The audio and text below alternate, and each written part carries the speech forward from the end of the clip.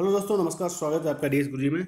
बहुत सारे प्रश्न राजस्थान के जितने भी एग्ज़ाम होते हैं, उनमें राजस्थान की प्रमुख मंडियाँ और फ़सलों से पूछे जाते हैं और कई प्रकार के प्रश्न होते हैं अलग अलग एग्ज़ाम में। एक या दो किसी में किसी में चार, पाँच भी संख्या बढ़ जाती है तो तमाम प्रकार के प्रश्न आपके फ़सलों से और मंडियों से पूछे जाते हैं।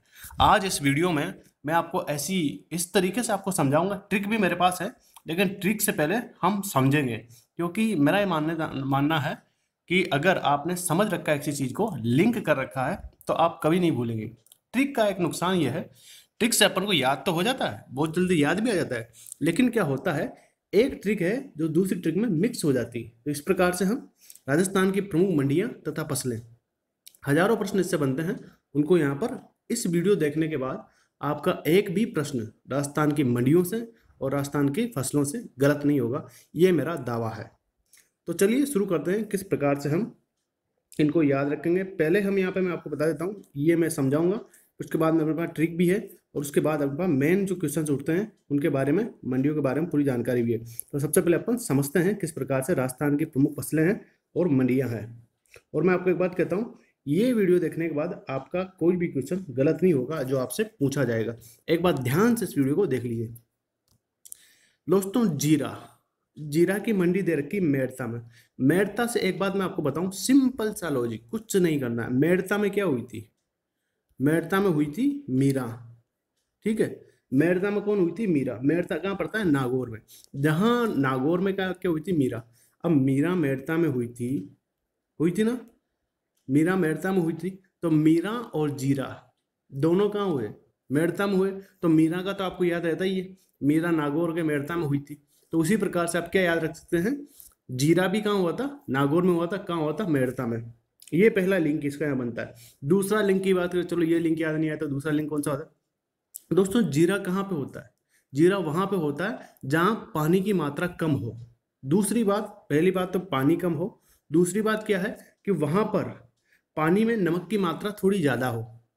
वही जगह पे जीरा होता है, आसानी से हो जाता है। तो ऐसी सुटेबल पोजीशन कहाँ पे है? भाई, नमक राजस्थान में कहाँ पे पाया जाता है? सांबर में? सांबर कहाँ आता है? सांबर आता तो जयपुर ज़िले के अंदर है, लेकिन समकक्ष जो, समीप जो जिला पड़ता है, वो है नागौर, और नागौर में सब चीज़ें हो रही है तो जीरा कहाँ पे होगा? नागौर में, अब इसमें क्या ट्रिक लगाने की ज़रूरत पड़ी है सिंपल सी बात, जहाँ मीरा, वहाँ जीरा, मीरा मेड़ता में, नागौर में जीरा भी, नागौर में मेड़ता में। समझ में आएगी बात? जीरा का क्वेश्चन आएगा तो आप गलत नहीं जाएगा आपका। दूसरा प्रश्न है, संतरा, भवानी मंडी। अब संतरा को अपन देखते हैं। दोस्तों, एक बात हमेशा ध्यान रखना एमपी के समीप एमपी यानी मध्य प्रदेश एमपी के समीप जितने भी आपके ज़िले आएँगे, कौन से ज़िले आते हैं एमपी के समीप? एक तो कोटा है, एक प्रतापगढ़ है, एक आपका भवानी, ये कोटा के अंदर ही पड़ता है, भवानी मंडी रामगंज मंडी, ये सभी झालावाड़ भी एमपी से टच में हो। तो ये सभी जिलों में जो एमपी के समीप है, वहाँ कौन सा उद्योग होता है? वहाँ खट्टी जो तरकारी होती है, वो ज़्यादा बनती है। खट्टी तरकारी मतलब खट्टे जो अपने वो बोलते हैं उनको फ्रूट्स होते हैं, खट्टे जो फल होते हैं। तो खट्टा फल कौन सा है? संतरा। तो एमपी के समीप क्या आता है? भवानी मंडी, कोटा संभाग में पड़ती है। और जहाँ एमपी होगी, वहाँ संतरे होंगे। तो सीधी सी बात है, भवानी मंडी कहाँ पे पड़ती है? कोटा संभाग में पड़ती है, लेकिन इसका जिला कौन सा है? झालावाड़ है। ठीक है?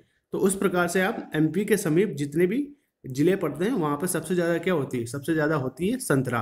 तो संतरा कहाँ हो जाएगी? भवानी मंडी में। ठीक है? तो इसका ट्रिक भी अपने पास है। और वैसे आप ऐसे भी याद रख सकते हैं, अगर ट्रिक भूल जाए तो। अगर आता है अपना प्याज। दोस्तों, सबसे बड़ा दिक्कत इन मंडियों को याद करने में यही होता है कि फ़सल कहाँ पे अलग हो रही है? मंडियाँ अलग जगह पे। जैसे प्याज कहाँ पे होता है? भाई, प्याज जिसे हम राजस्थानी भाषा में कहते हैं कांदा।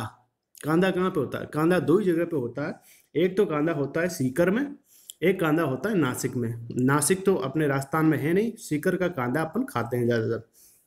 सफ़ेद कलर का वो कांदा होता है, प्याज होता है। अब जो प्याज है, वो सीकर में होता है, लेकिन बिकता कहाँ है? अलवर में। अब अलवर को अपन क्या कहेंगे? अलवर को अपन मानते हैं आलू। ठीक है? अलवर को अगर मान ले अपन आलू तो प्याज कहाँ जाएगा? भाई प्याज वहीं जाएगा ना जहाँ आलू रहेगा। तो अलवर अपना आलू हो गया और प्याज हो गया आपका प्याज। तो जहाँ पर आलू होगा, वहीं तो प्याज होगा। तो प्याज कहाँ मिलेगा आपको? अलवर में। तो इस प्रकार से आप लिंक करके इसको याद रख सकते हैं। क्योंकि हमेशा आपने देखा होगा क्या बनता है? आलू प्याज ही तो खाते हैं अपन। तो आलू तो अलवर हो गया और प्याज उसके पास चला गया। हालाँकि प्याज सीकर में हो रहा है, लेकिन फिर भी कहाँ जा रहा है? आलू के पास जा रहा है, क्योंकि आप घर में सब्ज़ी बनाते हैं। इकल्ले प्याज की सब्ज़ी तो नहीं बनती। और आलू की सब्ज़ी में जब तक प्याज ना डले, तब तक मज़ा नहीं आता। तो हो गया लिंक जहाँ पे आलू होगा, वहाँ पे प्याज होगा तो आलू से अपना अलवर आ गया और प्याज से प्याज आ गया। यहाँ पर एक एक्सेप्शन है। एक चीज़ मैं आपको और बता दूँ इम्पोर्टेंट है, क्योंकि जानकारी सारी लेना चाहिए। वर्तमान में प्याज की मंडी जो है, वो सीकर में खुल चुकी है। ठीक है? लेकिन जो मान्यता प्राप्त पुरानी मंडी है, मान्यता प्राप्त जो यहाँ पे अपन क्या कहते हैं, प्रमुख प्रमुख जो मंडी है, वो अभी अलवर में ही है। तो आपको यहाँ कंफ्यूज नहीं होना है।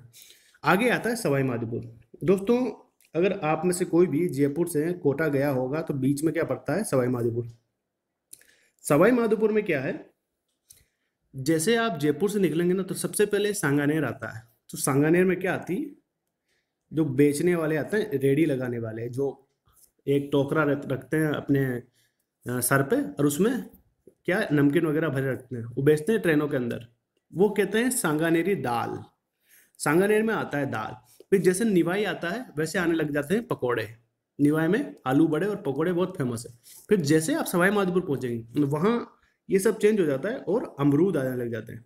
तो अमरूद जो है, वो सवाई माधोपुर में बहुत ही फ़ेमस तरीके से मिलते हैं और बिकते हैं। तो सवाई माधोपुर के जो अमरूद है, वो बहुत ज़्यादा फ़ेमस है और सवाई माधोपुर में अमरूद की फ़सल अमरूद की जो मंडी है, वो है। अब आगे अपन चलते हैं, इस प्रकार से आप इसको याद कर सकते हैं। चिंता मत करिए, इसकी ट्रिक भी अपने पास है, लेकिन मैं इसलिए समझा रहा हूँ, अगर मान लो ट्रिक काम न करे तो दो बेसिस आपका हो। आगे आता है, ईसब गोल। दोस्तों, सीधी सी बात है, ईसब गोल। ईसब गोल यानी ई सब गोल, बिहारी शब्द है ई सब गोल। यानी ये सब जो है, गोल है। ये सब कौन गोल है? ये सब जो पृथ्वी, वो गोल है। अब सब गोल है तो फिर क्या रहा? कुछ भिन्न रहा क्या उनमें? भाई सभी गोल हो गया तो भिन्नता तो खत्म ही होगी ना। सब कुछ गोल। तो सब कुछ गोल कहाँ पे होगा? ये सब गोल कहाँ मिल जाएगा आपको? भीनमाल में। तो ये सब गोल कहाँ मिलेगा? जालोर में, भीनमाल में आपका इस गोल पाया जाता है। ये इस प्रकार से आपका प्रश्न बनता है। मैं आपको इंपॉर्टेंट बता दूँ, एक तो ये संतरा वाली, एक प्याज वाली और एक इसब गोल वाले प्रश्न बहुत ज़्यादा पूछे जाते हैं तो आपको इनको तो याद करना ही है। अब इनकी ट्रिक भी अपन देख लेते हैं। दोस्तों ट्रिक सिंपल है। समझ अपन ने लिया? ट्रिक भी अपने पास है। सिंपल ट्रिक ये है, जीरा मेड़ता है, यानी यहाँ पे आप देखो, जीरा मेरता, जी में जी में मतलब जीरा और मेरता, यानी कहाँ पे हो गया ये? जी में, दूसरा आ गया संतरा भाऊ झाला में, प्याज, आलू, अमरूद हवा ईसब गोल जालोर बगा। सिंपल सा ये दोहा याद करना है। जी में, संतरा भाऊ झाला में प्याज, आलू, अमरूद हवा ईसब गोल जालोर बगा। अब दोस्तों झीमे से कैसे? झीमे का मतलब है जीरा। झीमते हैं ना अपन? निमंत्रण आता है, झीमने जाते हैं। झीमे कौन झीमे? संतरा झीमे। कौन झीमे? भाव भाव किसे कहते हैं? भाव कहते हैं, ये मराठी शब्द है भाव अपन कहते हैं किसी भी व्यक्ति को। भाव काम कर रहा है भाव जला रहा है भाव वो कर रहा है। तो मराठी शब्द में जो भाई होता है ना, उसे भाव कहते हैं। भाव झाला में। अब संतरा कहाँ पे होता है? झाला यानी झालावाड़ में। तो झी में संतरा भाव झाला में। और प्याज आलू। प्याज आलू का मैंने पहले बताया था। प्याज, अलवर में और अमरूद सवा। अमरूद कहाँ पे? सवा किलो अमरूद जो है, वो कहाँ पे मिलेंगे आपको? सवाई माधोपुर में मिलेंगे। तो अमरूद सवा और ये सब गोल जालोर भगा। ये सब गोल जो है, वो जालौर में मिलती है। तो सिंपल सी दो आप याद कर लो। जी में संतरा भाव जाला में प्याज, आलू, अमरूद सवा, ये सब गोल जालोर भगा। बिल्कुल इसकी राइमिंग भी बन गई है। ये चीज़ आप याद कर लेंगे। कन्फर्म आपको याद हो जाएगा।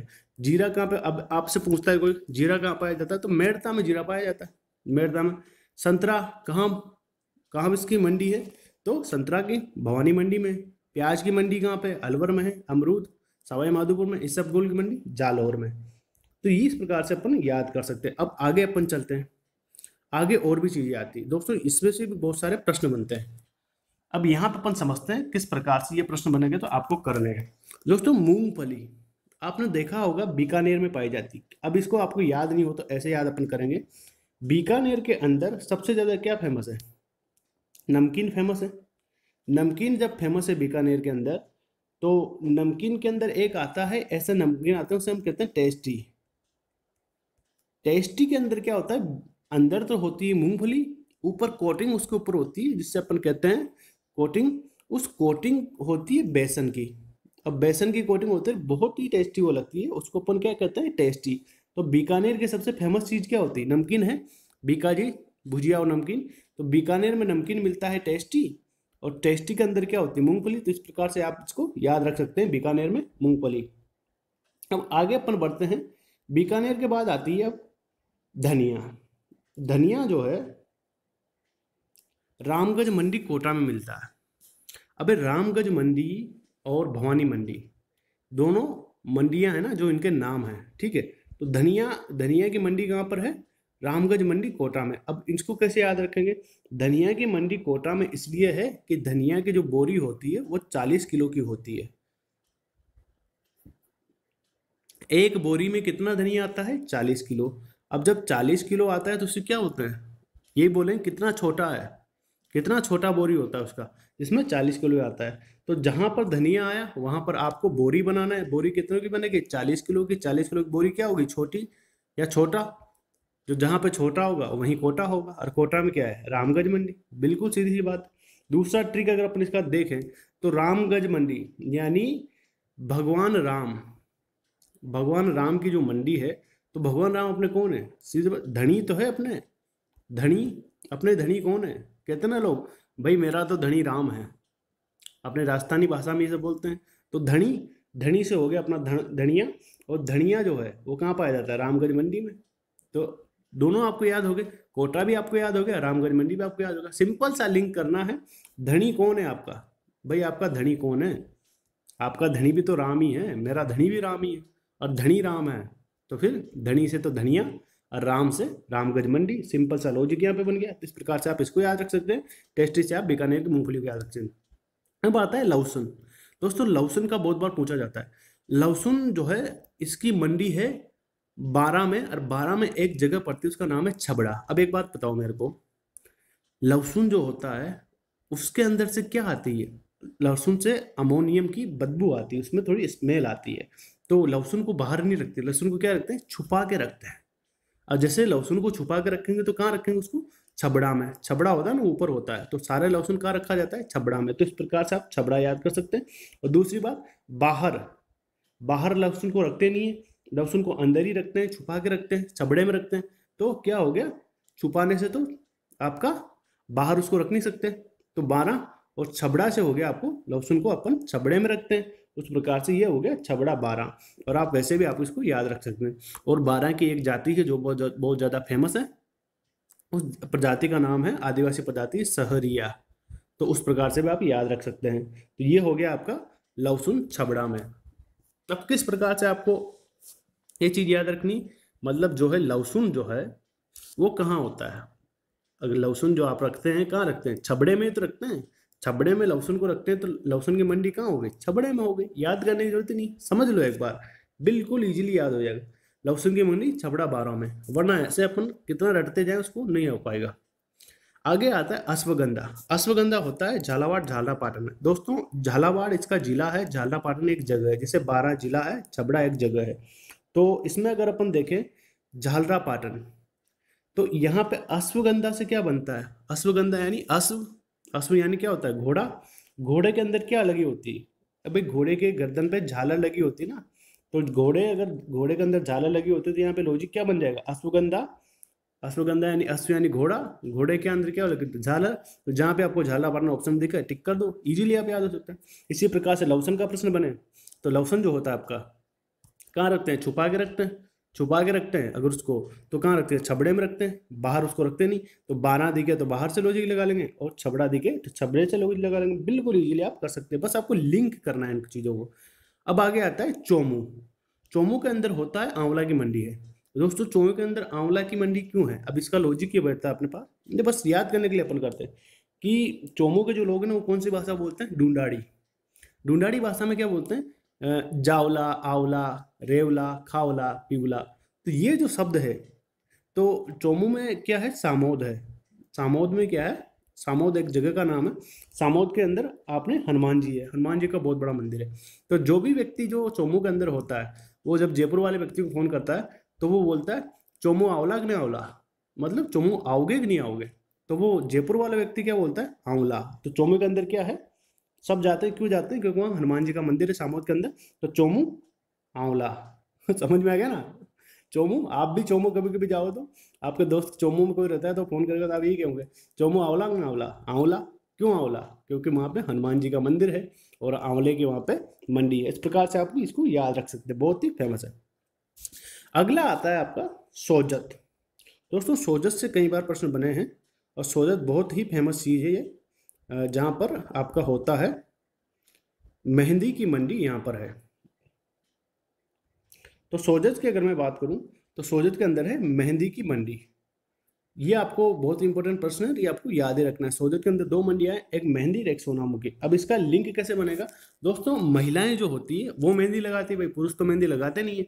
महिलाएँ मेहंदी लगाती है तो क्या करती है? आपने देखा हो कभी ये चीज़ आपने ट्रिक बनाई नहीं, बस देखा है। लिंक करना सीखो दोस्तों, इसी से ज़िंदगी चलेगी। लिंक करने से सब कुछ याद आ जाए महिलाएँ मेहंदी लगाती, कैसे लगाती? अपने पैरों को फैला लेती है और एक पाटा टाइप ऐसा होता है अपने गाँव में, उस पर रख लेती है। फिर मेहंदी लगाती है पैरों के अंदर। फिर क्या होता है, जैसे ही मेहंदी सूखने लगती है, महिलाएँ क्या होती है? सो जाती है। सो जाती है ना? वो लेट जाती है और उनको नींद आ जाती है। इतने में, एक दो घंटे में मेहंदी सूख जाती है।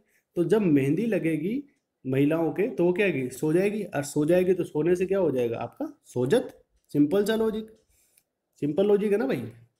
इसी प्रकार से आप इसको याद रख सकते हैं। अब दोस्तों, महिलाएँ जब मेहंदी लगाने के बाद सोती है, पैर फैला करके तो जो महिला है, दूसरी बार में कब सोएगी? भाई कब सोती है? जब उनको खुशी मिल जाए। खुशी किस चीज़ की मिलेगी? महिलाओं को तो एक ही चीज़ की खुशी मिलती है। किस चीज़ की मिलती है? भाई, ये ट्रिक अपन बना रहे हैं। किसी चीज़, किस चीज़ की खुशी मिलती है? जब उन्हें कोई आभूषण दे और वो आभूषण सोने के हों तो फिर और ज़्यादा खुशी मिल जाएगी। तो फिर तो वो चेन की नींद ही सो जाती है। तो मेहंदी लगाने में तो महिलाएँ सोती है और अगर उन्हें सोना मिल जाए तो फिर वो चेन की नींद सो जाती है, बिल्कुल आराम से, उन्हें कोई टेंशन नहीं रहती। तो जहाँ पर भी सोने का प्रश्न आए, जहाँ पर भी मेहंदी का प्रश्न आए, आपको सोजत लगाना है, ठीक है मेहंदी में भी सोएगी और सोजत में, यानी सोना मुखी आपका मिलेगा तो भी सोएगी। तो सोने से तो सोजत और सोना से सोना और मेहंदी से मेहंदी, कितनी शानदार इसका लिंक अपन ने बना लिया, अब आप कभी नहीं भूलोगे। अब बात करते हैं माल्टा की। दोस्तों, माल्टा जो शब्द है, ये माल्टा शब्द किस, कौन से राज्य से लिया है?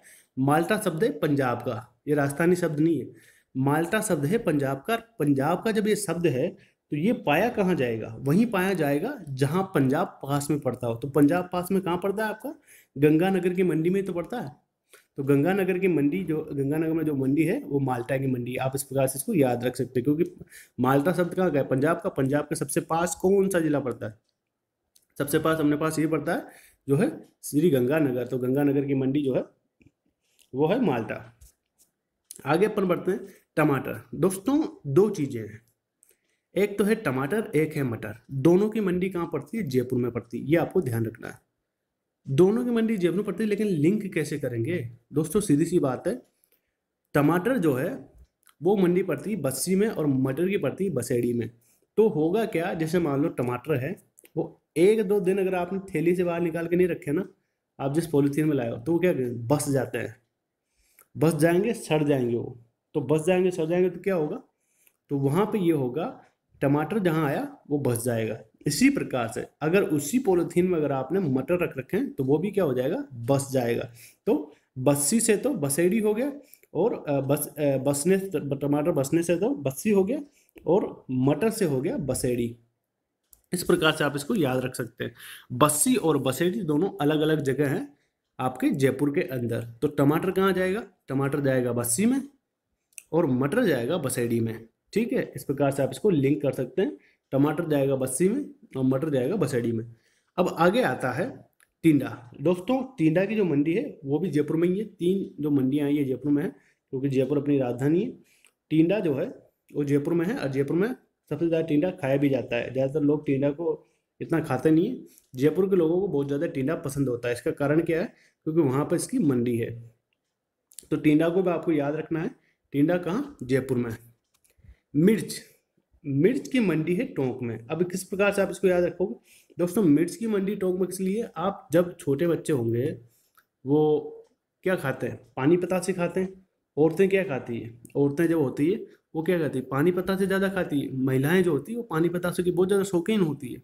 तो उन्हें क्या करते हैं? जो बड़े बुज़ुर्ग होते हैं, जिन्हें हम बाबा लोग कहते हैं, जो बजे, बड़े बुज़ुर्ग लोग हैं, वो क्या करते हैं? उनको बार बार उनको टोकते हैं। मत खाओ मत खाओ मत खाओ। ज़्यादा मिर्च मत खाओ, मीठी चीज़ें खाओ।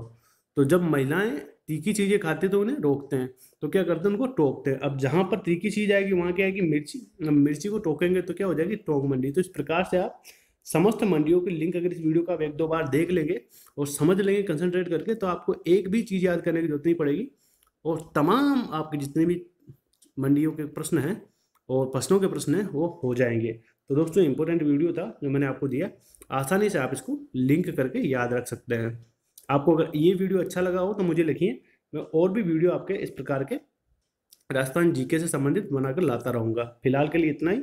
बना रही है मेरे साथ। मेरे साइट पर जाकर आप राजस्थान जीके का मॉक टेस्ट दे सकते हैं। हमारी साइट का नाम है W W dot D S Guru ji dot com. ये यहाँ पर लिखी हुई है। धन्यवाद।